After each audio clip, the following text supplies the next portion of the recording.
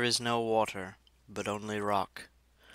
Rock and no water in the sandy road, the road winding above the mountains, which are mountains of rock without water. If there were water, we should stop and drink.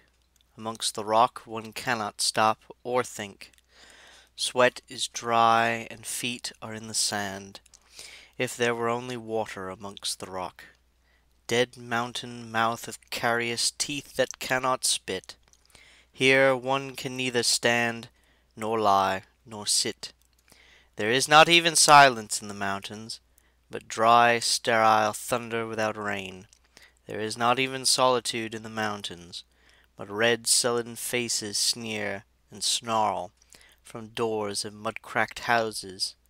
If there were water and no rock, if there were rock and also water, and water, a spring, a pool among the rock, if there were the sound of water only, not the cicada, the dry grass singing, but the sound of water over a rock, where the hermit thrush sings in the pine trees, drip, drop, drip, drop, drop, drop, but there is no water.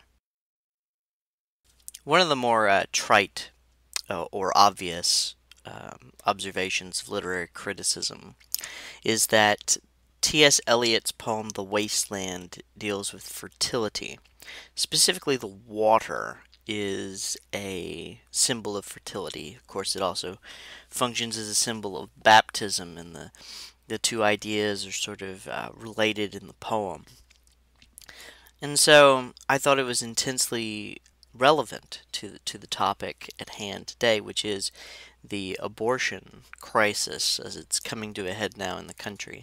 Now, I'm not particularly interested in talking about uh, individual laws. Uh, you know, I'm not interested in talking about policy decisions like should we allow for uh, exceptions for cases of rape and incest, things like that. I'm, I'm not interested in talking about that. I'm more interested in talking about abortion as a societal phenomenon, um, something that affects the whole society in a certain way.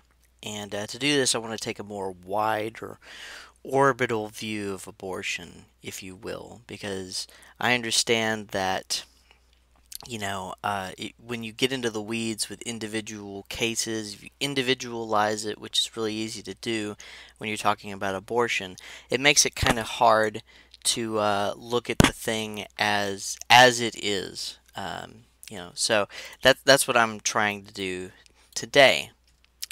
Uh, so abortion really comes about. I mean, it's it's always existed in a sense, right? You know. Um, uh, in pagan cultures, it was perfectly acceptable sometimes to, um, you know, if you if you didn't want an infant, you carry it to term, and then you would take it into the woods and leave it to die. Uh, so that would be, I guess, an early form of late-term abortion. Uh, but so abortion's always been a thing, but our societies have never really been so fundamentally and radically shaped by abortion uh, until the sexual revolution, or really an, until the, the beginning of modernity uh, in the early 1900s. Uh, and it represents a sea change because it comes along in, in rising in popularity uh, with the pill, basically. And what abortion in combination with the pill, you know, abortion sort of as a backstop or a final solution, if you will, uh, for failures of the pill, what it really does is it puts humanity in complete control of their sexuality. And, you know, people haven't wrestled with, I think, enough just how destructive it is for human beings to be in control of something like that. Because human sexuality, although it's a human trait, uh, is also a force of nature. And so people say sometimes, for instance, that uh, it would be really great if human beings could control the weather. That way, you know, we we wouldn't have hurricanes that would hit islands and kill thousands of people. And we we wouldn't have uh, you know tornadoes that rip up trailer parks in Oklahoma. And that's the idea, right? That if you could control the weather, you could stop all the bad things from happening. Um, but let's say we did do that and we did start messing with the weather.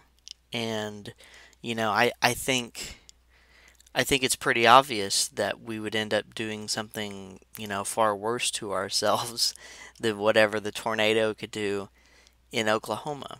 And abortion is, is kind of like that. It's a sign of human hubris where we say that, you know, we are the ultimate arbiters of human sexuality. And the carnage from this kind of thinking is immense, you know, and in just the United States alone, since 73, there have been something like 50 million abortions.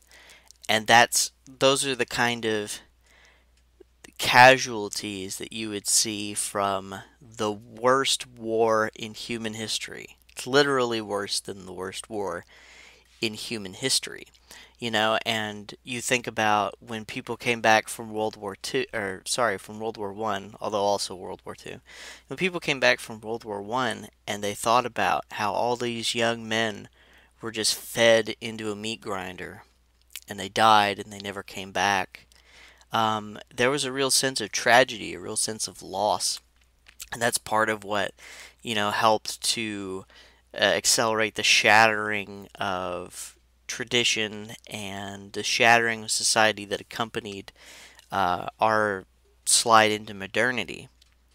And so just imagine that kind of trauma, except far, far worse, but nobody seems to comprehend, nobody seems to understand because these people were killed in the womb before they had a chance to make that kind of impact on other people. I think it's interesting uh, that in the modern world we worship essentially at the idol of infertility. You know, in in the modern world we wish for everything to be like the wasteland that T.S. Eliot talks about the the sandy crags, no water anywhere. But in the ancient world, I mean, they worshipped goddesses that brought fertility in all forms. Uh, fertile harvests, obviously, fertile livestock, but also fertile wives. Uh, you know, people in the ancient world, and especially early Christians, were open to all the gifts of life. It was a attitude of welcoming fertility, in a sense of welcoming the water, to use T.S. Eliot's uh, device and of course in welcoming the water to welcome baptism. And, you know, in contrast, today's culture worships an idol of infertility, and as a result, they've made a holocaust of the unborn. And so I want to take these these two fundamental attitudes and just sort of put them together, you know, put them side by side. And on the one hand, you have an attitude of control you have an attitude of trying to harness nature for the will of man. It's almost sort of a it's almost sort of a Faustian kind of spirit where, you know, we're going to take control of this faculty that we, you know, for the longest time didn't have complete control over and, you know, we're we're going to use it to do what? To seek Epicurean pleasure, perhaps? Um, the motivations are different for every person, but I can tell you there are no good motivations for having an abortion.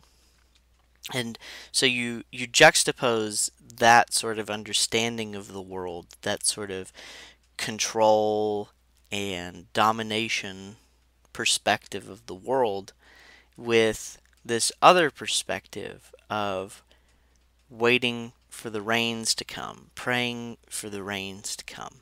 It's almost like two farmers, and one farmer decides that he doesn't want to grow his crops. So he sprays pesticides and weed killer on his cornfield until it withers up and it dies. And the other farmer, of course, is, well, he's waiting for the rains to come. And so I want to challenge the culture. I want to challenge Catholics especially, to be that kind of person who is open to the experience of rain, which is water from heaven.